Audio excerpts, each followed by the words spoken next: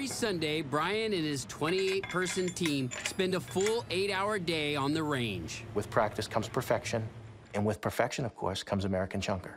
All clear downrange? All clear. This year, Brian isn't satisfied with just winning. Together with his crack team of scientists and engineers, he is aiming for the Punkin Chunkin Holy Grail. The Holy Grail, of course, is the mile, um, and it's been rolling up on 27 years now, and nobody's hit the mile. 20 seconds. One mile is 5,280 feet, or 17 and a half football fields, Fire in the hole. and would smash the previous world record by over 700 feet.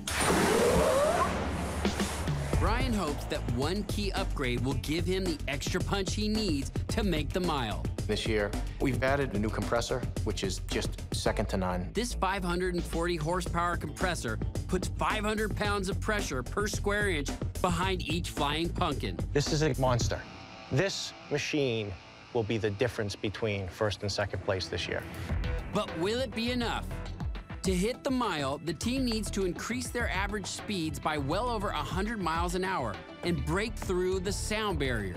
Trying to accelerate a pumpkin to the speed of sound is unheard of. Nobody has ever tried to do this. Nobody has had the means to do this. This is the they do at NASA.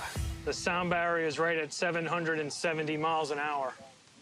So that, that's our target. But throwing a pumpkin at such high speed involves a huge risk. The scary part with the sonic limit is usually when something breaks through the sound barrier, if it's kind of wimpy in structure, which a pumpkin actually is, it's apt to pie. Pumpkin pie is a chunking term used to describe a pumpkin blowing apart before it hits the ground. Pumpkin pie is the voodoo word in pumpkin chunkin. You don't want anything to do with pumpkin pie. Here we go.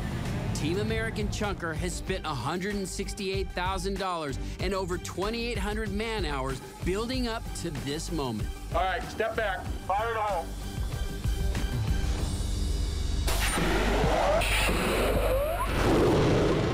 Let's get Leo on that radar for a checkout at the barrel. The pumpkin traveled so fast that the naked eye could not detect whether it survived the shot.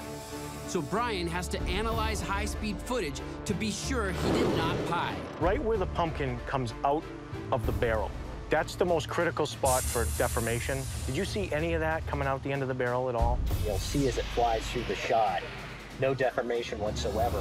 That is just absolutely and- and incredible. even- Playing back at 1500 frames per second, the footage is conclusive. No pie. But did it break the sound barrier? so how'd we look?